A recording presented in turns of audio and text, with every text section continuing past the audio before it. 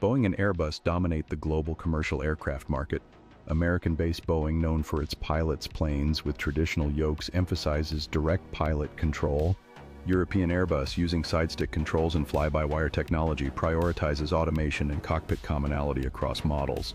Visually, Boeings often have pointed noses and single flashing wing strobes, while Airbuses have rounder noses and double flashing strobes.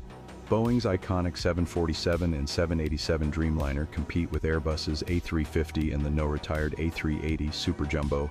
The 737 and A320 families are their respective narrow-body workhorses, although Airbus currently leads in deliveries. Both faced recent challenges, Boeing with the 737 MAX crisis and Airbus with supply chain issues. However, as of 2025, Airbus holds a larger market share around 56% compared to Boeing's 40%. Both companies also operate in defense space and services diversifying their revenue streams. Their fierce competition continues to fuel innovation in the aerospace industry.